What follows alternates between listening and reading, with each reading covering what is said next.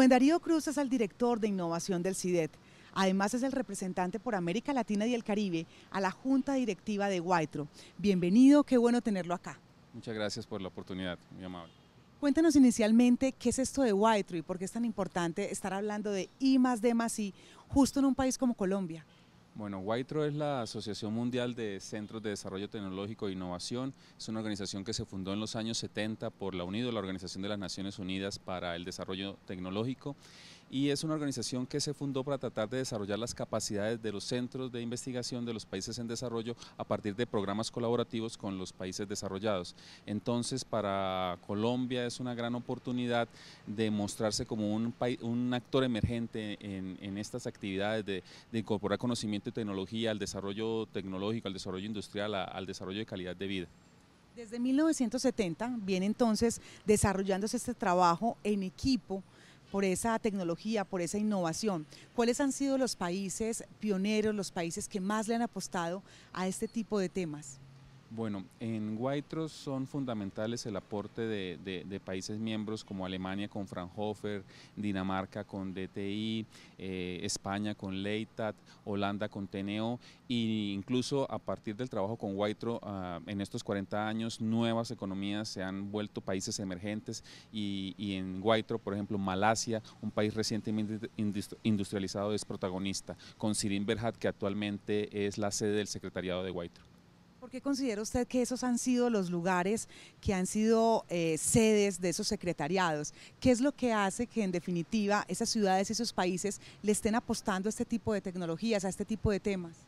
Bueno, eh, fundamentalmente porque es una receta ya establecida. las economías que han logrado desarrollar altos ingresos per cápita han descubierto que no se puede simplemente competir en la escala mundial eh, con factores de producción, es decir, que yo tengo la materia prima o la mano de obra eh, competitiva, no es solamente con eficiencias, con excelencia operacional, porque ya eso no es suficiente para competir en una escala mundial. Entonces, los países industrializados y los recientemente industrializados en eh, han comprendido que solamente incorporando conocimiento y tecnología, eh, ojalá de vanguardia, a sus procesos productivos, al desarrollo de las comunidades, se puede alcanzar los niveles de prosperidad, de desarrollo sostenible que permiten generar la prosperidad que requieren sus ciudadanos. ¿Quiénes van a ser esas instituciones, esas personas que se van a dar cita justo en Huaytro, en Colombia? Bueno, el propósito fundamental del Congreso es tratar de que eh, surjan oportunidades de trabajo colaborativo. Entonces, en el Congreso en Colombia vamos a tener la oportunidad de tener, eh, por un lado, eh, los que tienen experiencia generando desarrollo y, prosperidad a partir de ciencia y tecnología, los centros de desarrollo tecnológico de todo el mundo. Vamos a tener también actores que facilitan muchos de estos proyectos de Guaitro en los países en desarrollo. Entonces está banca multilateral, vamos a tener entonces al CAF, el Banco de Desarrollo de América Latina, representantes de del BID, del Banco Interamericano de Desarrollo, también de agencias de fomento como UNUDI, UNESCO van a estar en, el país y también eh, en este, en este eh, tipo de eventos se dan cita los directores, los gerentes de las unidades de desarrollo tecnológico industrial, de los departamentos de I+.D. de las empresas que están buscando aliados, que están buscando experiencias, que están buscando mejores prácticas para sus procesos productivos. También vamos a tener eh, investigadores, y, en general el público interesado en los temas de innovación, así también como funcionarios públicos trabajando en, política pública para la innovación. Háblenos un poco de ese compartir experiencias, de ese encontrarse, buscar esos resultados, esos aprendizajes conjuntos. ¿Cómo va a ser un poco la metodología, la mecánica en sí del evento como tal? Bueno, este no es un congreso solamente de charlas magistrales, que en este caso las, charlas magistrales que se tiene son tipo TED, sino de, formatos experienciales en donde la discusión, digamos, en escenarios íntimos es muy importante. Entonces vamos a tener en el congreso una mesa de, directores ejecutivos, de CEOs, donde la idea es que eh, se discutan mejores prácticas para la gestión de unidades empresariales de I+.D. y de centros de desarrollo tecnológico. También vamos a tener un taller de política pública que la idea es discutir con expertos internacionales qué funciona y qué no cuando usted quiere establecer incentivos y un ambiente propicio para el desarrollo tecnológico y la innovación. Eh, además de todas estas charlas, eh, digamos, en formatos eh, especiales, no la charla magistral pesada. Si yo soy una persona que estoy viendo actualmente esta entrevista y digo, yo tengo que ver con investigación, con desarrollo, con innovación, tengo que estar ahí. ¿Por qué debería estar en este escenario y qué es lo que en definitiva se va a llevar la persona que asista?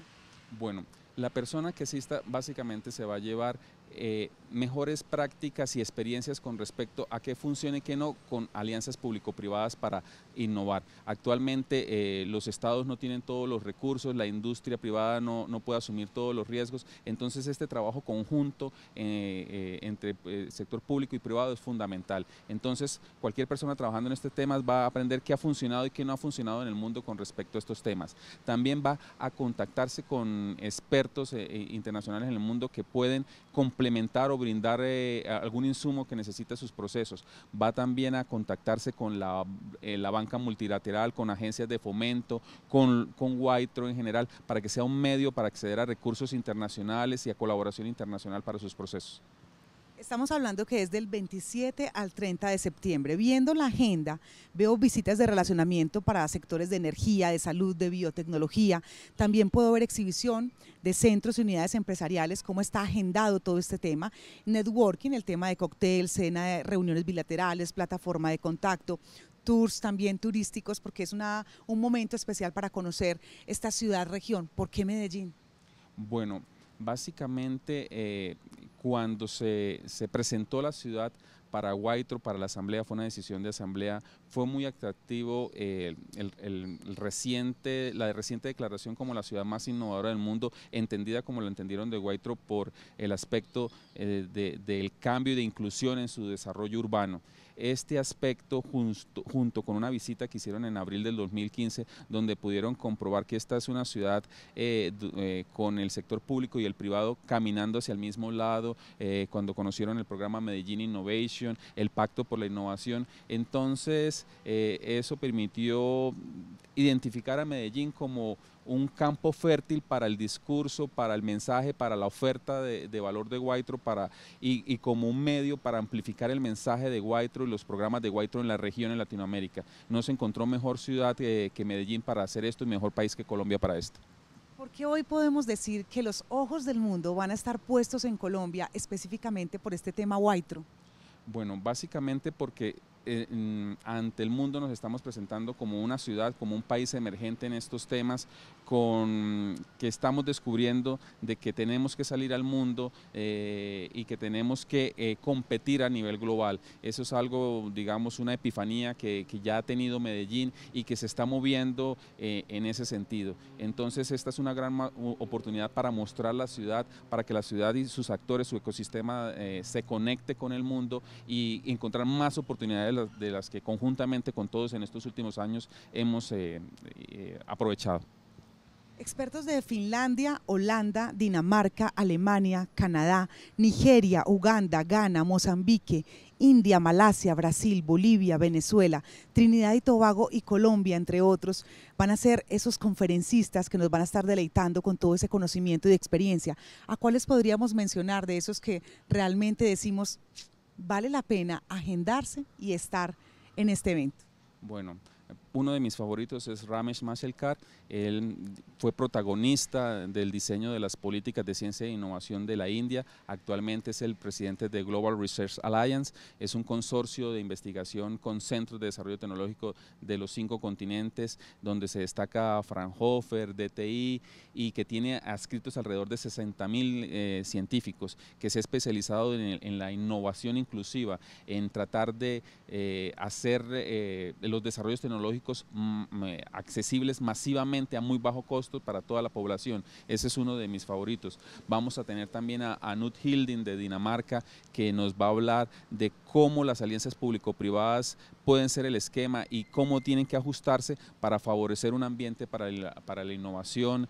Eh, también vamos a tener a Gober Gisberg que nos va a hablar eh, de cómo la, la, industria manufacturera europea en este mundo donde casi todo se maquila en, en, en, en Asia eh, ha podido, digamos, a partir de alianzas público-privadas revitalizarse y dar más empleos, dar, mejorar los indicadores de calidad de vida de, de, los trabajadores en Europa. Entonces ese tipo de experiencias van a ser fundamentales que se van a poder compartir en este evento. Rubén Darío, usted y todo su equipo de trabajo va a ser anfitrión de todas estas personas que van a estar precisamente en Huaytro. Pues, ¿cómo los están esperando? ¿Cómo se van a sentir esas personas que vengan desde diferentes ciudades de Colombia, pero también desde diferentes países del mundo? Bueno, Medellín en eso, digamos, tiene todas las, eh, mejores características para ser un, recibimiento muy caluroso, muy cercano, muy familiar de, todas estas personas. El evento se va a celebrar en el Hotel Milla de Oro, eh, el cual brinda, digamos, facilidades para desplazamientos, incluso a pie por, por la ciudad. Eh, el, mismo evento va a permitir que no todo sea técnico, va a haber una, una, una visita turística al Parque Arbí, va a haber tour de compras para aprovechar, digamos, esa oferta también también eh, social y, comercial de la ciudad. Eh, entonces, eh, no solo las oportunidades las vamos a vivir en el Congreso mismo, sino con todas estas actividades complementarias donde la ciudad, su oferta de servicios, su oferta hotelera, su oferta de, eventos especializados también va a, a mostrarse, a posicionarse en el mundo. Finalmente, Rubén, ¿por qué no perderse Huaytro en la ciudad de Medellín, en Colombia? Bueno, porque es otra oportunidad para tener al mundo en Medellín, eh, para, conocer eh, y contactarse con la gente que tiene realmente experiencia convirtiendo ciencia y tecnología en, prosperidad, en calidad de vida, los que ya han pasado de la retórica a la acción, los que han avanzado realmente en estos temas. Entonces es una oportunidad realmente de lujo para, para aprender de ellos, para aportar con ellos y crear oportunidades conjuntas para todos nosotros. Él es Rubén Darío Cruz, director de innovación del CIDED, representante para América Latina y el Caribe de Whitro en su junta directiva. Pues muchas gracias y éxitos con este maravilloso evento. muchas gracias, los esperamos todos en, el evento. Los invito a, revisar la página web whitro.co para que puedan conocer todo lo que, eh, toda la oferta que tiene este evento, todas las oportunidades que nos puede abrir y espero que, que nos acompañen. Y más de más, sí, en Medellín, Colombia.